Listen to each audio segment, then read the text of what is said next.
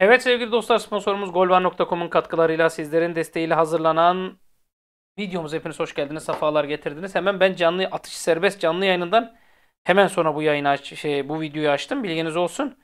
Bazı şeyler hem orada hem burada söylemiş olabilirim. Dur. Burada bir duyum daha vardı. Amin. İnşallah. Ali Koç'un aklına sokanlara teşekkür. Aklına bir fikir sokanlara teşekkürler. Şimdi benim her konuşmamda bir şey arıyorlar. Ee, Ali Koç'un aklına sokanlara değil, yani aklına bir fikir sokmuşlar. Şimdi değerli arkadaşlar, değerli kardeşler. Şu duyumu da verelim. Lassine Traore'de sürpriz gelişmeler olabilir. Maxi Gomez ve Charlotte içinde geçerli. Ancak bu üç ismin dışında henüz isim telafi edilmiyor kulüpte bilginiz olsun. Evet duyumlardan bir tanesini şu anda abonelere de vermiş olduk. Bu arada yayını beğenmeyen abone varsa aşk olsun. Ali Koç hoca gelmeden 4-5 oyuncu istiyordu. Buraya geldikten sonra fikri değişti. Bak ben en ayar olduğum cümle buydu. Benim en, en ayar olduğum cümle. Gelmeden 4-5 oyuncu istiyordu. Arkadaşlar benim yemin etmeme gerek yok biliyorsunuz. Beni az buçuk tanıdınız. Benim üyelere verdiğim duyum şuydu. Bir üyemiz de çıksın yalanlasın yalanlayamaz. Abonelere de verdim çünkü. Diyor ki iskelet çok güzel. takımın iskeleti çok güzel. Bakın takımın iskeletine kimleri saydı biliyor musunuz? Altay, Osayi, Kim, Ferdi, Crespo, Zayt 6. İrfan Can'ı da saydı. 7. Niye İrfan Can'ı saydığını da anlatayım. Hani şapkadan tavşan çıkarma özelliği falan filan. 7. Dedi ki bu takım hani Serdar Aziz Salah ile küt pat gider. Onu da sayıyorum 8. Bu takıma ne lazım? Bir tane 10 numara lazım. Bir tane sol kanat lazım. Bir tane forvet lazım. Gelmeden Jorge Jesus'un Fenerbahçe yönetimine sunduğu buydu. Hatta biz dedik ki işte elde birkaç tane oyuncu var onları satarız falan filan. Bakın bir daha söylüyorum. Forvet 10 sol. Üçünü istiyordum. Şimdi ben diyorum ki mevcut şartlarda kim gitmedi? Salah'ı duruyor. Serdar Aziz duruyor. Tisserand da dördüncü stoper dedi. Yeter lan stoper almıyoruz. Ferdi okey. Osayi okey. Ha bir şey söyleyeceğim. 3 tane bu isim. Crespo'yu yedekleyecek isim. Ferdi'yi yedekleyecek isim. Ee, Osayi için illaki bulurum dedi. Bir de İrfan'ı yedekleyecek isim. Normalde 6 transferle iş bitecekti. Yani 3-4 denirken bile 6 ile iş bitecekti. Ama geldi baktı etti. Sıkıntılı. Yani bizim camia orta yol yok diyor. Yine eleştiri var. Hocamıza güveniyoruz. Panik yapmayalım. Santrafor için önümüze çıkacak fırsatları bekliyoruz. 10 Eylül'e kadar süremiz var. Ben size forvet transferini söyledim. Ama detaya gireceğim bekleyin. Transferin son 20 günü ve son haftasında çok farklı şeyler oluyor. Biz de özellikle onu bekliyoruz. Bu çok salakça. Bunu da konuşacağım. Fırsat transferini. Biz transferde imzalar atılmadan hiç konuşmuyoruz. Maxi Gomez'e kadar kimler yakıştırıldı ya? Kimler yakıştırıldı kardeşim Fenerbahçe'ye? Sadece bize değil, pek çok takıma yakıştırıldı diyor. Bazı menajerlerle bazı medya mensupları el ele iş yapıyor demiş. Vallahi şu anda e, yayını beğenen arkadaşlara bir soru sorabilir miyim? Sizce bazı e, kulüp başkanları ve bazı menajerlik şirketleri de ortak iş yapıyor mu arkadaşlar? Ne diyorsunuz? Öyle bir izlenime kapıldınız mı? Bak görüyorsunuz ben söylemiyorum. Aboneler söylüyor, üyeler söylüyor ben söylemiyorum. Ben bir şey söylemiyorum. Şimdi Santrafor maliyetli bölge. Eylül'e kadar beklenecek gördüğümüz kadarıyla. Hayır zannetmiyorum. 15 Ağustos'a kadar herhalde bitirmeleri lazım diye düşünüyorum. Ben en azından öyle düşünüyorum. Ee, Crespo varken Arao'ya 3 milyon euro. Buruma'ya 4 milyon opsiyon. Gustavo Henrique'ye işte sosyal medyaya göre 1.4'e kiralandı. Luan Perez'e 5.5, Rossi'ye 5.5. Bunlara verme o zaman diyor. Nasıl yani hocam? Arkadaşlar bakın Fenerbahçe'nin şu ana kadar yaptığı transferler. Tepki toplayan kısım şurası. Bak Şu bedelsizin Lamine Diak Çukur'u da geçtim. İrfan Can'ı da geçtim hadi. Şu kısım taraftarın ağır tepkisini alan kısım. Vossi 5.5. Şimdi soruyorum. Vossi 5.5'a aldın. 5.5'a bugün satılsa memnun musunuz? Birçok kişi memnun kalır. Harbi söylüyorum birçok memnun kalır. 5.5 artı. Ha. Luan Perez 5 milyon 230 bin. Ümraniye maçındaki Luan Perez değil 5 milyon 230 bin. 1 milyon etmez. Ama biraz izlemek lazım. Vicdansızlık etmeyelim. 4.68 Pedro. Pedro ile ilgili de bir şey konuşacağım şimdi. Lincoln 3.5. Arao 3. Emre Mor 2. Gustavo Henrique 1.4 diyorlar. Bu ben onların yalancısıyım. 25 milyon 310 bin eurodan bahsediliyor. Kaçı hak ediyor? Ben Lincoln hak ediyor düşüncesindeyim. Siz bir maçta çöplemeyin. Lincoln forvet arkası oynarsa 4-2-3-1 ya da 4-1-2-3 falan oynarsak Lincoln'u 10'da oynatırsak arkasında orta sahayı toplayacak iki isim olursa Lincoln ligin en iyisinde en iyisi olabilir. Arao kötünün iyisi. Crespo'yu yedekler. iyi iş yapar. Biraz daha üstüne koyarsa Crespo Arao ikilisi çok güzel top dağıtır. Çok güzel merkez orta sahalık yapar gibi geliyor. Emre Mor şapkadan tavşan çıkarıyor Allah aşkına. İrfan Can'dan daha etkili görüyorum. Ya bazen bencilliği tutuyor ama oyuncunun özelliği bu. 3. Joao Pedro'yu görmeden konuşmak yanlış. Diego Rossi. Diego Rossi eğer son top becerisini yapabilsin. Bakın son toplarını geliştirsin. 5.5 ya. Onu 55 yapın siz. Bak son top becerisini geliştirsin. Şu ankinin 2 tık 3 tık üstüne çıksın. 55 milyon euro yapın siz onu. Biz 55'e bile satarız. Hocam saçmalama. Satarız. Bak eğer onu geliştirirse satar mıyız? Hocam geliştirirsen iyi olmazsın. Tabii ki satarız. E ne konuşuyoruz o zaman? Luan Perez. Atilla Salahi'nin arkasından solu kapatacak isimlerden biri olabilir Luan Perez. Bu tablo burada dursun. Şimdi yine konuşacağım şeyler var. Ali Koç diyor ki bazı oyuncularımıza reddedemeyeceğimiz teklifler gelirse ayrılıklar olabilir. Şimdi o sahiyi konuşacağım. Bu arada Buruma için şunu söyleyeyim. Ücretsiz kiralama zorunlu opsiyonu yok arkadaşlar. Kim var diyorsa yalan söylüyor. Ben kaç yere sordurdum. Asla zorunlu opsiyonu yok dediler. Bu benim hani duyumum. Diyor ki teklif ve ayrılık olabilir. O bölgeler içinde gerektiği takdirde transfer listemiz hazır diyor. Bu doğru değil. Şimdi burayı da konuştuk. Fenerbahçe'de sakatlıkları süren iki milli futbolcunun son durumu. Serdar Aziz bir aya sahalara dönecek. Bir İrfan Can Kahveci Kasımpaşa maçında kadroda olacak. 2. Bitti mi? Bitmedi.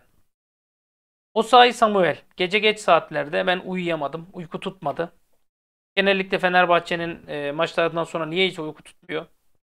Yani Allah'ın bir hikmeti niyeyse tutmuyor uyku. Herhalde size de aynısı oluyordur. Bir, bazı zamanlarda. E, ve gecenin köründe Gecenin körü demek de biraz küfür gibi oluyor. Allah'ın yarattığı şey gecenin körü demeyelim. Gecenin bir vakti arkadaşlarla mesajlaşırken hocam o sahi gitmiş hayırlı olsun. Hayırdır lan kap mı geldi dedim. Yok. Ee dedim. Sosyal medyada o sahiye ciddi transfer teklifleri geldiği satılmak üzere hani e, satılmak üzere olduğu konuşuluyor.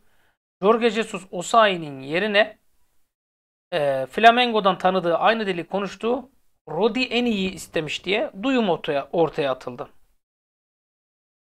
Şimdi her şey olabilir. Transferde arkadaşlar anlık. İnanın bazen eşimle çocuklarımla bir yere gidemiyorum. Üye arkadaşlar darlıyor. Özelden mesaj atan oluyor. Ben oraya e, topluluk kısmına duyum yazıyorum. Üye arkadaşımız istiyor ki evine geleyim, evinde vereyim duyumu. Bayanlar değil erkeklerden de isteyenler oluyor. Yani İstiyorlar böyle şeyleri. Bana bir rahat yüzü vermiyorlar. Ben de bazen mesela bazen telefonuma bakıyorum.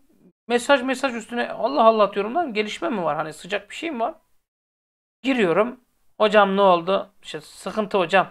Canımız çok sıkkın. Moralimiz bozuk. Hayırdır lan? Hocam o sahi gitmiş. Nereye gitmiş? Gitmiş hocam. Gitmiş hocam. Nereye gitmiş? Bilmiyoruz gitmiş. Ama nereye? Şimdi Turunculu takıma bakıyorum. Ozayi gidebilir mi? Gidemez. Mavili takıma bakıyorum. Bunlar oyunlar. Bu gibi dümenlere gerek yok. Bak Azibor ekranlarındayız. Ağzımızı bozdurmayın. Lan ne oluyor diyorum. Reddedemeyeceğimiz teklif açısı Osayi'ymiş. Osayi'nin yedek kalması bundanmış. Bunlar bizi Cuara'ya başlatacaklar yazmış. Osayi profil fotoğrafını değiştirmiş. Biosunda yer alan Fenerbahçe ibaresini kaldırmış. Namazı bırakmış. Seccadesini 25 kuruşa satmış. Tesbihinin imamesi kaybolmuş falan. Lan oğlum Osayi Müslüman değil ki. Hocam senin haberin yok. Dünyadan haberin yok ya. Duyumcuyum diye geçiniyorsun Osayi'den haberin. Lan oğlum yok öyle bir şey. Yok hocam sen ondan iyi mi bileceksin? Yani gecenin bir vakti dedim ki arkadaşlar böyle bir şey yok. Hatta durun moda mod okuyun. Siz de bana hak vereceksiniz. Şimdi bütün bunlar yetti mi? Yetmedi. Kim Minji'nin yerini bulmak için 5-6'ya parayı böldük o sahaya gittiğinde neler olacak falan derken Fenerbahçe'yi karıştıracak bir duyum gelmiş. Ahmet Ercanlar. Demiş ki Osayi Samuel için 18 milyon euroluk teklif var. Demiş. Şimdi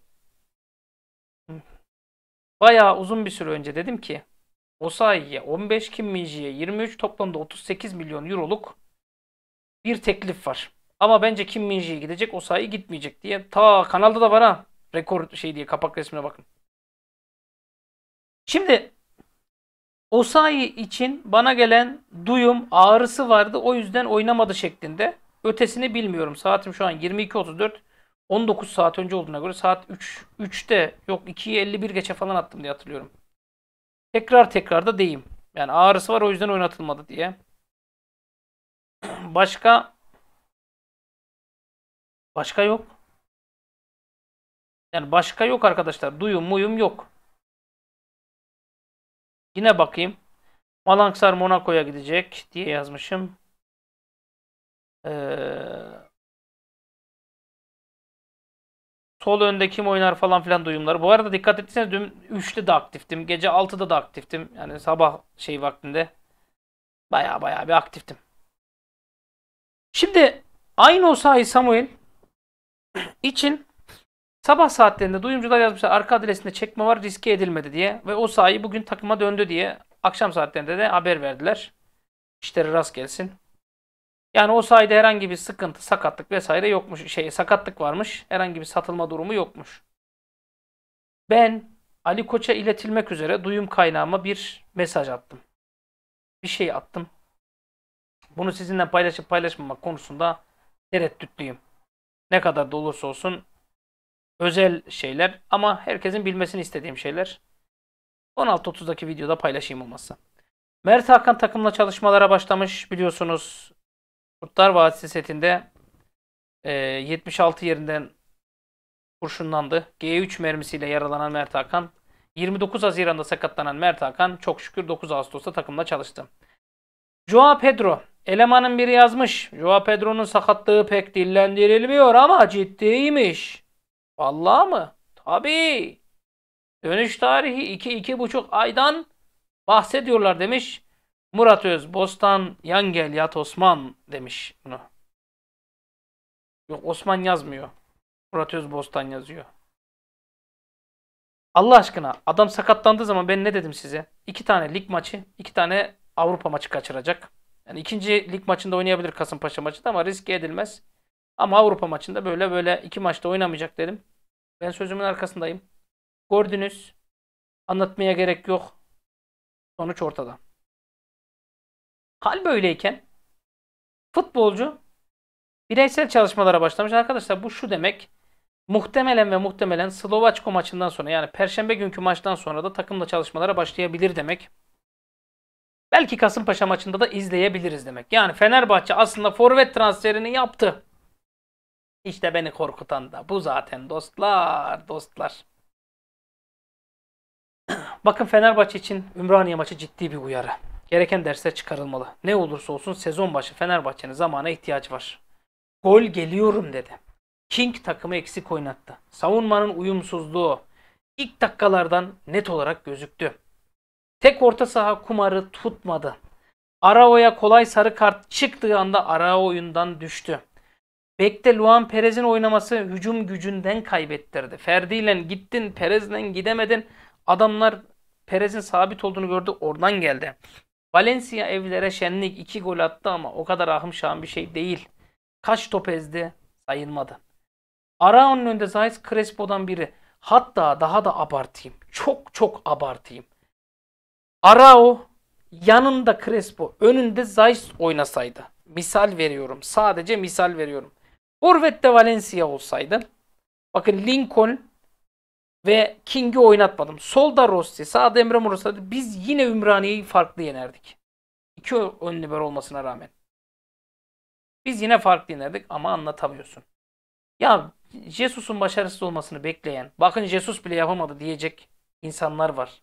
Bunlar yerlilere döndürmek isteyen arkadaşlar. Yani İsmail Kartal'ın, Aykut Kocaman'ın takım arkadaşları vesaire. Bunlara çok kanmayın. Sözüme kimse darılmasın. İsmail Kartal müthiş bir analiz uzmanıdır. İsmail Kartal'a ben çok dedim. Ya ikinci adam olmam falan filan. Bırak bunları. Fenerbahçe için ikinci adam da olunur. 32. adam da olunur. Olacaktın kardeşim. Olacaktın. Lamıcımı yok. Olacaktın. İsmail Kartal ikinci adam olsaydı biz Ümraniye'yi yine 5-0 yenerdik. 6-0 yenerdik. 7-0 yenerdik. Çünkü İsmail Kartal müthiş bir analiz uzmanı. Bunu anlamak lazım. Ha birçok taraftarımız Allah şahidim bunu söylemek zorundayım. Kimse benim kusuruma bakmasın. Başarısız olsun Jesus. Kaçıp gitsin ya da Flamengo'ya uçup gitsin de İsmail Kartal gelsin istiyor. Olmaz. Her sene birilerinin isteği yerine gelecek olsa ben de Ersun Yanalcıyım. Ben, ben de Ersun Yanal gelsin istiyorum mesela. Benim istediğim olsun diye ben niye Jesus'un başarısız olsun isteyeyim? Ben niye uykusuz geceler isteyeyim? Dünkü maç gol beklentisi Fenerbahçe 2.9 Ümraniye 1.1. Demek ki savunmada büyük hatalar var. Gol beklentisi. Demek ki Fenerbahçe gol atmaya başlamış diye. Arkadaşlar bakın polyanlacılık yapmıyorum. Pozitif de bakmıyorum, negatif de bakmıyorum. Geçen yıl 40 haftada 2 korner golü yiyen takım 60 dakikada 2 tane korner golü yediyse ilk korner golünde 1.90'lık Gulumak'ı o korner golünden sonra 1.90'lık Gulumak'ı küçücük Rossi tutmaya çalışıyorsa diğerleri alan savunması yapıyorsa geçiniz bu işi. Demek ki Jesus'un savunma sistemi gerçekten kötü. Maalesef. Şimdi birkaç görüntü daha vereceğim. Alın arkadaşlar. Çöplediğimiz Rossi. Bu arada görüntüler yayıncı kuruluştan alınmıştır. Rossi pasını veriyor Valencia'ya. Bakın arkadaşlar. Şimdi size bir şey sorayım. Valencia'yı çıkın Mustafa Hoca'yı koyun. Ampul gibi şu kalecinin boş bıraktığı o hayvan kadar alan var ya löp diye oturturum oraya. Aranızda birçok kişi de löp diye oturtur. Öyle Rossi şut çeker gibi falan vermedi ha pası yanlış anlamayın. Halı sahada olsam hızlı verse o topu ayağımla hafif kontrol edip burun ucuyla dokunur yine löp diye o köşeye oturturum o, o topu. Bak löp diye oturtmazsam asın beni. Lincoln'un yerinde Pedro olsaydı Joao Pedro şey e, Lincoln diyor. Valencia'nın yerinde Pedro olsaydı o goldü. Dembele olsa goldü. Prime Emenike olsa kaleci de kalenin içindeydi. Prime Sov olsaydı kaleci de kalenin içindeydi. Anladınız mı? Kayt olsaydı da goldü. Ne bileyim Niyank olsaydı da goldü. İşte Fenerbahçe'nin asıl sıkıntısı bu. Bunu anlatmaya çalışıyoruz. Arkadaşlar maç burada 2-1. 2-1 öndeyiz. Bu gol atsan 3-1. Ne hakem konuşulur ne başka bir şey konuşulur. Bitti mi? Bitmedi. Lincoln ne yapıyor? Daha zor durumdaki Emre Mor'u atıyor. Emre Mor burada zar bela, zor bela, güç bela kaleye şutunu çekiyor. Kaleci çıkarıyor. Emre Mor'un yerinde olsam kalecinin şu e, sol tarafı var ya arkadaşlar şu an işaretleyemiyorum. 2 saat uğraşmayın. Kalecinin sol tarafı var ya löpürt diye oraya atarım topu. Kalecinin üstüne ya da sağ köşesine vurmak kaçırmak demek. Ha burada Emre Mor da beklemiyordur o topu. Emin olun beklemiyordur. Hani Gomis'in Antalya maçında attığı gol var ya tek dokunuş diye. Bu öyle bir şey değil işte. Bu e, Valencia'nın beceriksizliğinden sana verdiği pas. Burada Emre Mor ne yapsın? Tamam. 2017-18'de ilk 6-7 haftada Fenerbahçe rezalet gidiyor. Birdenbire Aziz Silin devreye giriyor. İstifadan dönen Aykut Kocaman Ozan'ı kadro dışı bırakıyor. Sağ kenar oynattığı Giuliano'yu ikinci forvet gibi yani gizli forvet gibi kullanmaya başlıyor. Radikal bir değişiklik. Jorge Jesus da böyle olağanüstü, olağanüstü radikal bir değişiklik yaparsa kadrodaki saçma yapılanma, kalitesiz transferlere rağmen Fenerbahçe kafa kafaya gider. Bu lige ilk maçtan havlu atmış gibi gözükse de peş peşe galibiyetlerle havaya bürünür. Kadro yapılanmamız saçma. Kabul. Ancak Ümraniye Spor Teknik Direktörü Recep Uçar sana bir mesaj verdi. Dersine iyi çalışırsan Jesus'u da mat edersin. Valerian'ı da mat edersin. Okan'ı da mat edersin. Ya Fenerbahçe'ye her anlamda dayak attılar. Bu ligde orta saha önemli. Sen tek Arao'yu orta sahada tek bırakırsan Zayt Crespo'yu kesersen not Crespo sakatlıktan döndüğü için full artı verimde olmadığı için Zayt ise kafası karışık İtalya işinin gitme fikrinden falan filan oynatılmıyor. Ben şunu söylüyorum. Zayt'sa 4 sene sözleşme uzatın. Crespo'yu da kadroya dahil edin. Deyin ki arkadaş kim hak ediyorsa Crespo, Zayt, İsmail, Arao, Mert Hakan 5. 5'ten ikisi oynar. Bitti. Bu beşliden herhangi ikisini oynat. Önüne koy Lincoln'u. Bak Joshua King'i de oynatma. Ben size bir şey söyleyeyim. King'i Rossi'nin yerinde bile oynatabilirsin solda. King'i Rossi'nin yerinde bile oynatabilirsin. Oynatma. Pedro. Bak bir durumuna. Ve şunu söyleyeyim. İleri beşliyle takımın arasında çok uçurum var. Bu takım 4-2-4'ü oynayamıyor. Geçen sene de oynayamıyor. Bu sene de oynayamıyor. Sebebi ne biliyor musunuz? Yeteneksizlik. Gustavo Henrique'nin olayı da farklı. Şimdi Ali Koç'a dönelim. Ali Koç diyor ki transferin son haftasında farklı şeyler oluyor. Biz özellikle onu bekliyoruz. Fenerbahçe'nin son 4 sezonda transfer döneminin son günlerinde aldığı forvetler ve ligdeki gol sayıları. Kahrolacaksınız.